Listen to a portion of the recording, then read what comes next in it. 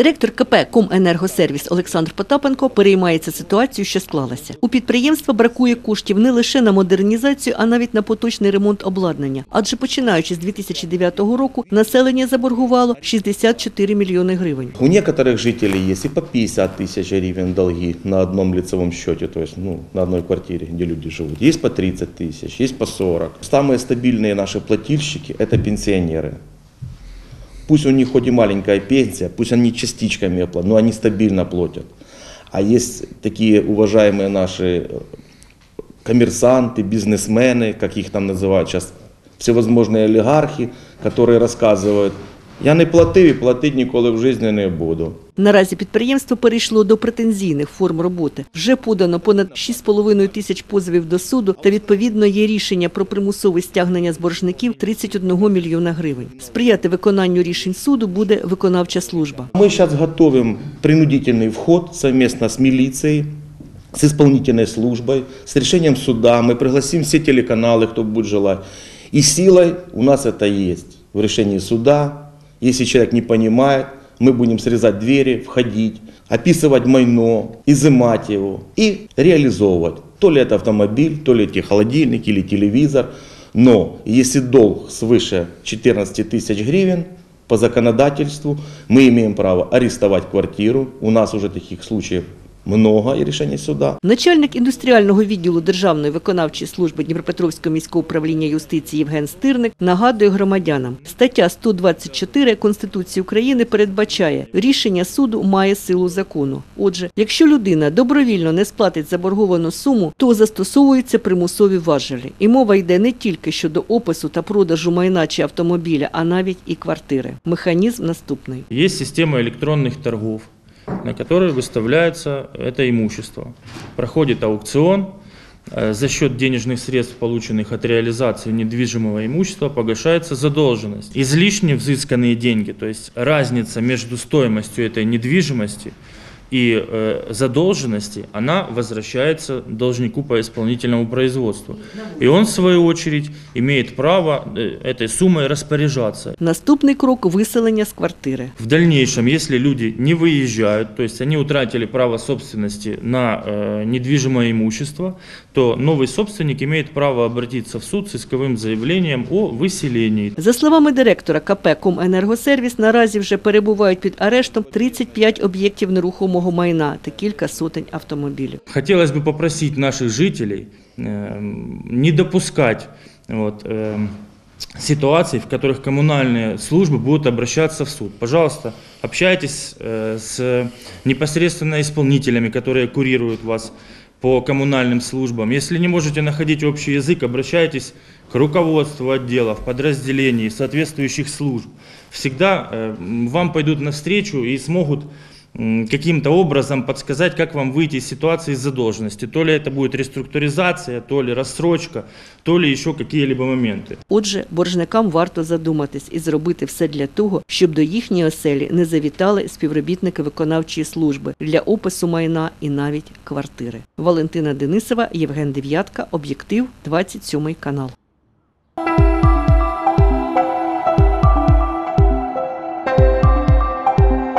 Отсутствие рекламы и определенного драйва. Именно поэтому некоторые одесситы игнорируют музеи. Не, на дрифт ходим, с парашютом прыгаем, с веревкой прыгаем, на музей не ходим. Дело хорошее, но скучно, честно говоря. Лично это мое мнение. Когда учился, да, мы ходили. А в какой? В какой музей? Вот не помню. Здесь, на Деребоне, возле пушки.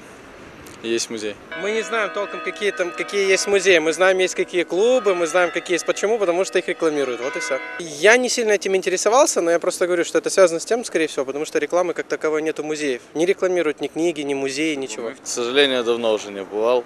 А когда последний раз были? Где-то вот когда я учился в колледже года четыре назад, я был на экскурсии в музей западного искусства. И уже не помню, если честно, как музей называется. Он находится по, вот на улице Гаваны в одном из дворов. И там экспозиция по поводу вроде Первой мировой войны, я уже, если честно, не помню. В данный момент времени меня это не интересует. Может, в дальнейшем будущем. Просто сейчас меня это не особо волнует. Я не задумываюсь об этом. И из-за этого не хожу. Домашние заботы и боязнь инфекции – тоже среди причин, по которым жители города не ходят в музеи. Музее, ой, последний раз очень давно было. Но сейчас с детьми тяжело, как бы, нет, с детьми пока не ходим. Особенно все время эти страх вирусов общественных мест сейчас нет. Ну, как бы хотим, наверное, надо приучать молодое поколение к музеям. Западного, восточного искусства, археологический музей. Очень давно не было. Мы просто далеко за городом живем. Когда-то посещала, но сейчас, знаете, уже немножко... У меня сейчас другая прерогатива. Я за городом живу, больше занимаюсь бездомными животными. Археологически нравится. Ну, я же говорю, я люблю э, на- наши, как говорится, корни, историю. Ну, не, не настолько я ее хорошо знаю, но уважаю. Но есть и те, кто понимает, что музейные экспонаты дают возможность прикоснуться к истории, узнать интересные факты, просто получить эстетическое наслаждение от общения с искусством. Когда есть свободное время, в принципе, стараемся выйти с семьей. Недавно был в музее порта нашего одесского. По работе был. Ну и также по, ну, э, еще и как бы культурно тоже посмотрели, потому что выпал момент, можно было посмотреть.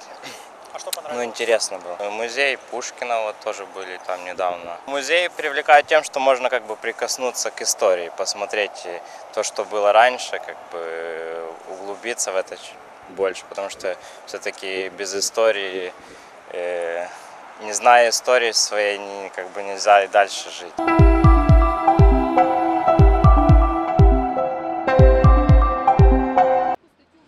Рівнянка Надія Скороход виховує двох малолітніх дітей. Минулого року жінка потрапила під скорочення, тож залишилася без роботи. На підприємстві, де працювала Надія, надали усі документи, аби жінка стала на облік до центру зайнятості. Так як я є одинокою мамою і виховую дитину інваліда, отримую допомогу, е, соціальну допомогу на дитину інваліда, і також е, СОБЕС мені виплачує надбавку як одинокій мамі, незалежно від факту роботи. Центр зайнятості, керуючись тим, що я отримую цю надбавку, е, каже, що я не маю права е, знаходитися на обліку, так як я є зайнятим населенням. Рівнянка обурена таким рішенням. Переконана, її шестирічний син не потребує постійного догляду. Хотіла б е, уточнити, роз'яснити. Відповідно, вони хочуть мене зняти з обліку з поверненням всіх грошових виплат, які я отримала під час перебування на обліку в ході роз'яснення цієї ситуації. У міському центрі зайнятості проблему Надії Скороход вивчають. Кажуть, зі свого боку також намагалися допомогти. Коли звернулася Надія Скороход до центру зайнятості за сприянням у працевлаштуванні, ну відповідно до того, що для неї не було підходящої роботи, і вона претендувала на статус безробітного, вона нас повідомила про те, що е, отримує допомогу, відмірніше надбавку на догляд за дитиною інвалідом. Окрім того, вона має статус одинокої матері. Коли Надія нам про це повідомила е, і сказала, я фактично не здійснюю догляд за дитиною інвалідом. Тому ми якби хотіли людині допомогти, бо ми прекрасно розуміємо, що допомога по безробіттю, якби це є якась ну, фінансова підтримка на той період, поки вона без роботи. У міському центрі зайнятості переконують, Надію попередили, що таких людей вони не реєструють. Виключення зробили, бо ж вона матір-одиначка, і взяли на облік. Проте відразу попередили, кошти, які вона отримувала упродовж шести місяців, можливо, доведеться повернути. У нас є роз'яснення вищестоящих наших організацій про те, що в компетенцію служби зайнятості не входить з'ясовувати, здійснює вона фактично догляд, не здійснює вона фактично догляд. Якщо є документи, які підтверджують факт отримання цієї надбавки, вона не має е, права на статус. Та Надія Скороход віри не втрачає. Наступний крок жінки лист до міністерства. Юлія Павленко, Артем Лаговський. Новини Рівного.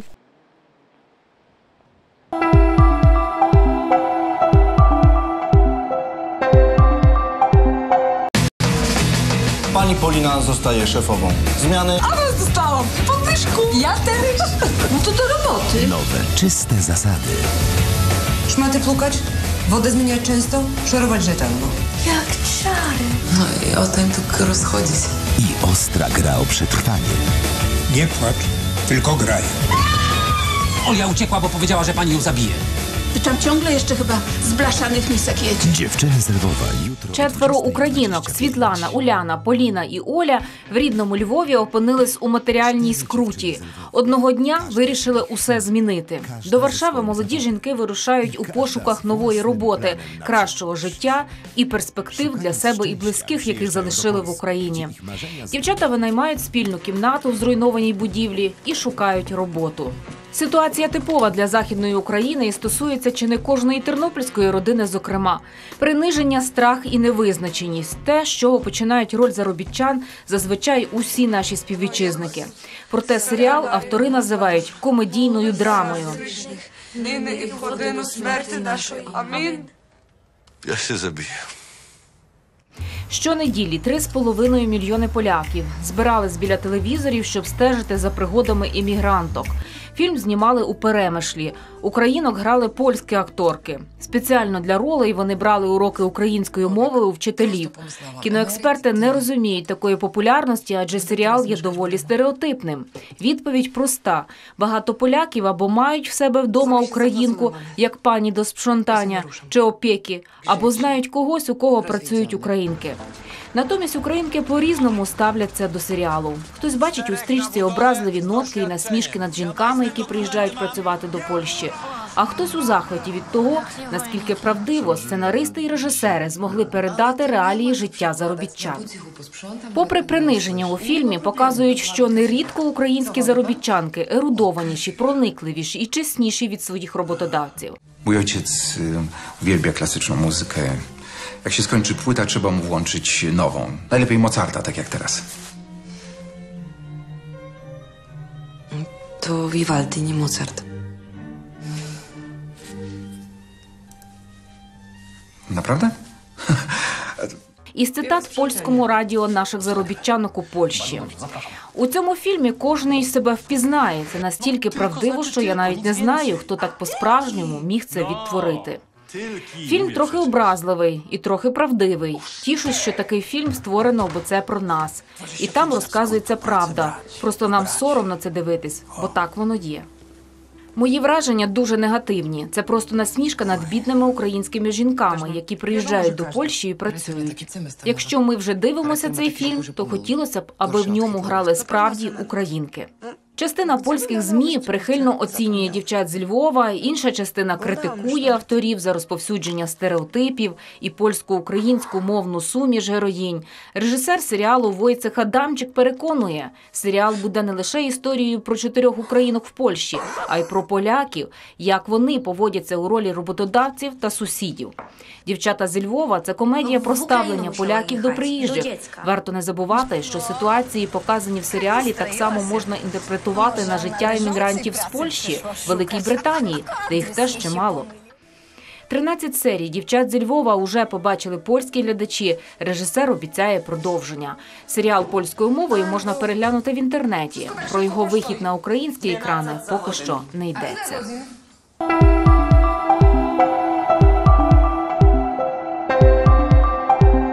Яскраве свято грації та ритму в Івано-Франківську стартував щорічний фест 2016. На 26-й по рахунку танцювальний захід завітають 35 колективів з усієї України. У перший день свої таланти демонструють юні прикарпатці, дивують розмаїттям костюмів та оригінальними номерами. Зокрема, один із гуртів розвиває популярну нині тему нової поліції. Ми поліція, а вони бандити. Ми хочемо стати такі, як вони. Ми хочемо розбишаками стати, а не там за законом слідкувати. Ми хочемо, щоб було ніби весело. Але так. потім але стаємо поліціями. Так.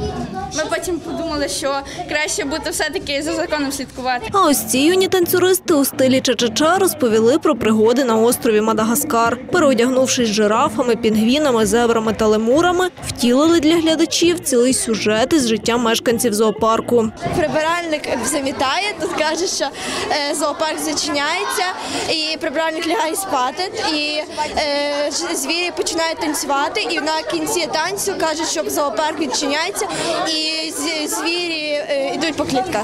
Не бракує на фесті і романтики. Ось ця пара підготувала напрочуд ніжний номер під музику Ніч яка місячна. У національних костюмах вони виконали класичний бальний танець. А все тому, що разом зі своєю наставницею полюбляють експериментувати у хореографічному мистецтві. Ця пара, ви знаєте, їм по 9 років. Вони в мене такі від самого першого класу, вони завжди разом. І тому така композиція Нічика місячна оце саме відображення їхньої такої маленької дитячої історії. До виступів на фесті кожен колектив ретельно готувався, адже це відзначають організатори. Добра нагода для дітей спробувати власні сили на великій сцені. Такий фестиваль е, він. Він дає дітям велику енергію, тому що виступити на кращій сцені е, Прикарпаття це дуже важливо для них. Це не десь е, ну добре виступати і в школі, і на майданчиках, і на вулиці, десь там на таких, але виступити в театрі, де тут така атмосфера, для них це. Ну, це вже як вони один раз виступлять, вони вже не кинуть танці. У неділю відбудеться заключний концерт фесту, відзначення учасників та нагородження переможців. Ольга Рега, Сергій Попович, телеканал 402.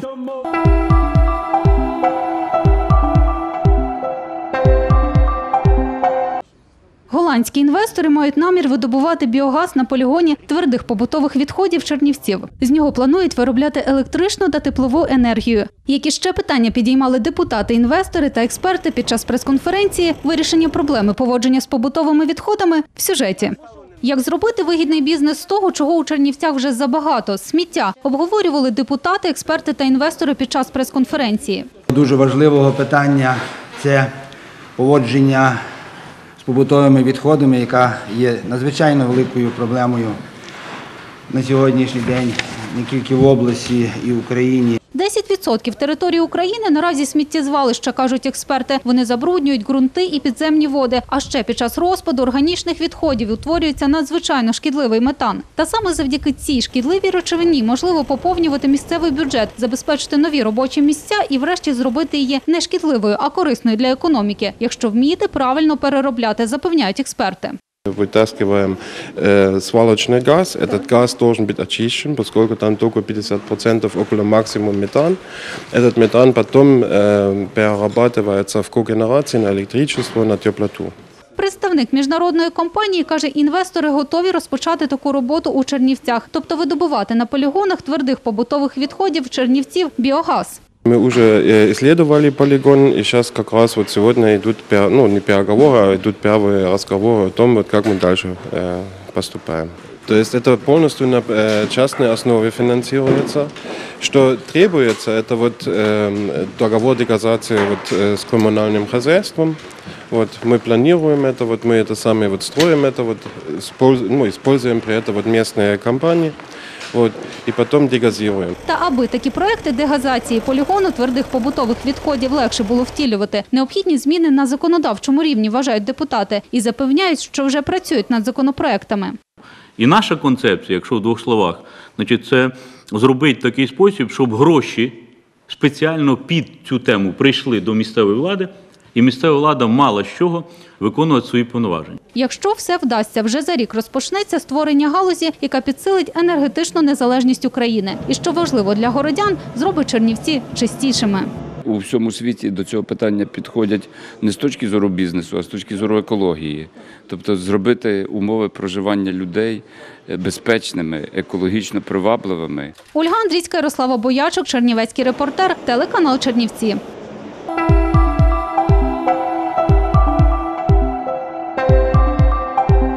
Кубок України 2016 з важкої атлетики стартував. 10 лютого у спортивній залі стадіону імені Гагаріна у Чернігові відбулося урочисте відкриття змагань під гаслом від Чернігова до Ріо-де-Жанейро, які триватимуть до 13 лютого. Спортсменів привітали та висловили їм свої побажання представники чернігівської влади, а також заступник міністра молоді та спорту України Микола Даневич. Представники влади також зазначили, що не дарма обрали місце для проведення турніру саме у нашому місті, оскільки багато зусиль докладали, аби покращити умови спортивного комплексу. І цю роботу планують продовжувати і надалі, адже мета досягти рівня Європи. Все, що буде залежати від е, місцевої влади, від обласної влади, ми будемо робити для того, щоб разом з міністерством популяризувати е, не тільки е, окремий вид спорту, а взагалі всі види спорту, щоб ми перетворили в цей об'єкт в такий вир е, спортивного життя.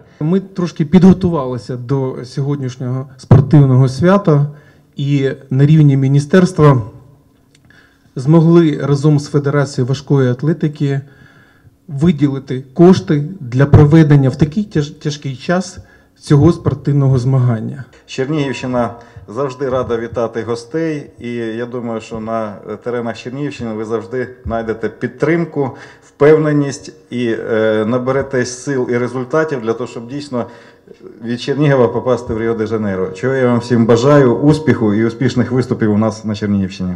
За Кубок України 2016 боротимуться близько 200 найсильніших спортсменів із 22 областей України. Серед учасників змагань чемпіони України, переможці та призери чемпіонатів Європи та світу. Спортсмени, які займуть призові місця на Кубку України, у квітні представлять нашу країну на останній континентальній першості перед Олімпійськими іграми 2016 у Ріо де Жанейро.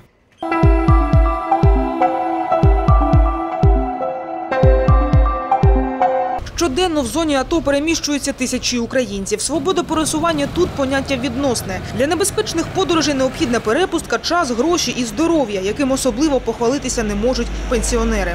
На чому приїхали? На разном транспорте. По-разному добирались. На трех или на четырех.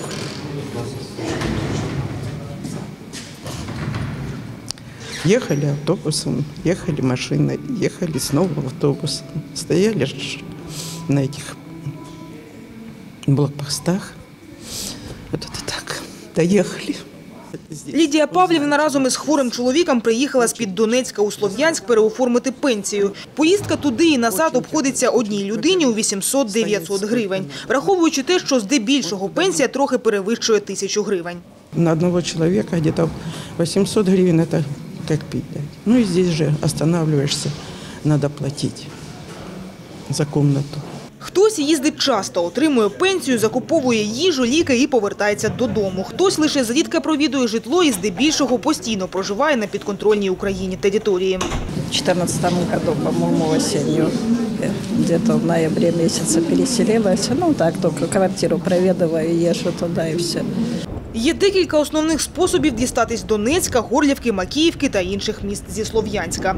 Перший – купити квиток до найближчого КПВВ на автостанції, а далі доплачувати водію за більш дальню поїздку. Другий – кооперуватись у легкових автомобілях. І третій варіант – скористуватись послугою приватних перевізників. Мікроавтобуси без розпізнавальних знаків формуються в різних частинах Слов'янська. При вигляді камери одразу ховаються або і зовсім від'їжджають.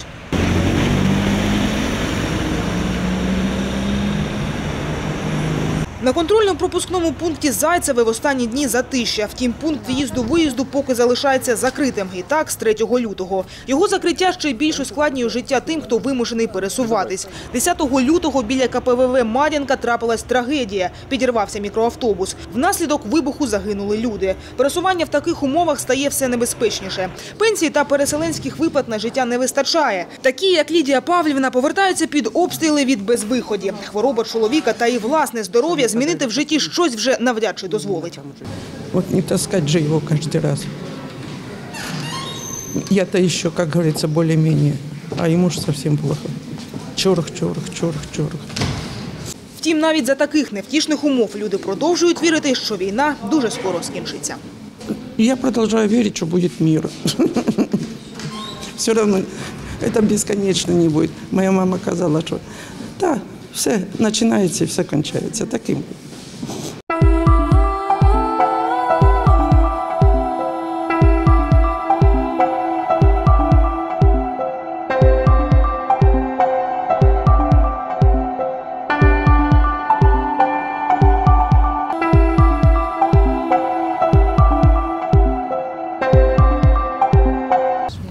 Ну, я считаю, что, наверное, не, не нужно. Ну, может быть, и нужно, но не в таких прям случаях, чтобы там убивать, там. Считаю, что только в отдельных случаях нужно, но не- так прям, чтобы ими как хотите распоряжаться этим оружием. Ну, сейчас очень тяжелая у нас обстановка в стране, криминогенная обстановка очень тяжелая. Я считаю, что полиция должна быть вооружена. Полиция должна применять оружие. Зачем? Ну, у них же есть эти жезлы, Палки палки, вот. И хватит им. Я законов не знаю в этом случае. С непосредственно, ну как раньше было, с непосредственной угрозой для жизни. То есть, если на, на в тебя стреляют, и ты стреляешь. А так нельзя, конечно. Ну, по большому счету, мне кажется, в самых крайних случаях. Но поскольку же вы видите ситуацию, что практически закона никто не придерживается. Так что, в принципе, да, я понимаю, что с одной стороны есть превышение полиции и полномочий, но с другой стороны обратно же обстоятельства. 190, возможно, километров в час, или да- даже 150-120 по городу. Вы же представляете, что может быть, если что-то случилось. Так что тут, в принципе, ну, я не могу сказать, что 100% полиция права и что 100% не права. Так что тут же должно быть полицию, если принимают психологически, ну, подготовленных людей, а не так, что, вот, понимаете, может быть, где-то что-то сорвался, ну, на нервах людей, так что тут. В некоторых случаях да. Особенно сейчас, когда в народа очень много сейчас оружия. Это наше нестабильное время. Сейчас мы в таком все шоке находимся, в таком, что действительно это человеческий фактор сработал у, у полицейского. Какое они не проходили тестирование, но не полностью, все они не могли учесть. Конечно, должны. Жизнь какая. Ну, даже не могу сказать, в каких случаях должны применять. Это настолько должно уже исключительно важный случай. Вообще, конечно, оружие – это зло. Как э, защита. По-моему, надо защищать себя, так же? А то кто-то, какой-то бандит на него нападет, он должен это самое. Сразу, что он э, ну, предупредительный, а потом уже, наверное, что там уже ну, на курсе дела, конечно.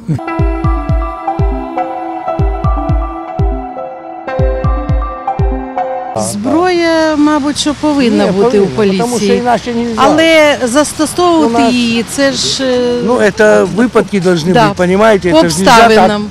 Я думаю, что потребно э, в обычных случаях, в некоторых случаях, вот этот последний случай. А если бы он убил на остановке кучу людей или еще протаранил где-то э, что-нибудь повредил, я считаю, что в экстренных случаях, конечно, нужно применять. Вообще нет. Желательно, чтобы они не применяли оружие. Ну, якщо ситуація цього вимагає, допустимо, то я думаю, це треба, тому що зараз е, складні времена, от реально. Якщо вона того вимагає, то треба застосовувати.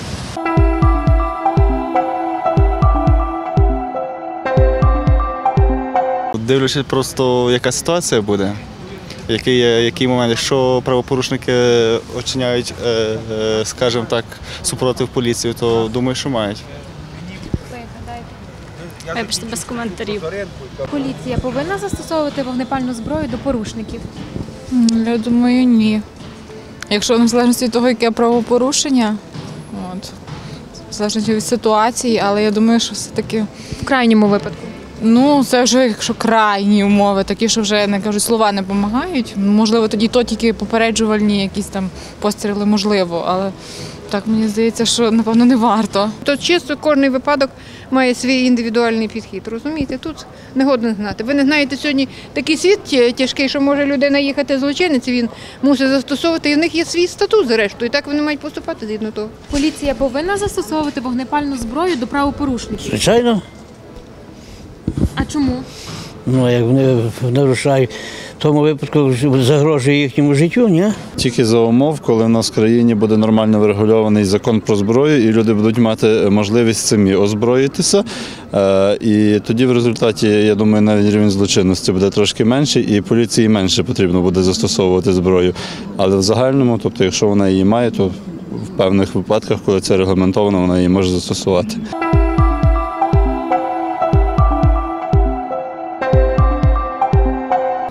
Враховуючи те, що нам не надали повної інформації про це, і вони приховують відео з місця, то як до цього можна ставитися взагалі? Я вважаю, що не зробили правильно. Ну він півгодини їхав, він збив одного поліцейського, він не зупинявся, каже, що в нього знайшли наркотики в машині. Можливо, щось вони таки порушили, коли вони його все-таки застрелили, бо кажуть, що це було е, через вікно. І заднє було ціле. Можливо, тут є їхні порушення, але загалом я думаю, що вони діяли правильно. А чому зброю застосовувати? А не можуть тіски зажати чи тому подібне. Є ж куп патрульних машин. Зажали в тіски, ти все, та які проблеми. А в Франківську то як колись встановлювали порушників? Зажимали в тіски, витягували з машини, ти без ніякої зброї.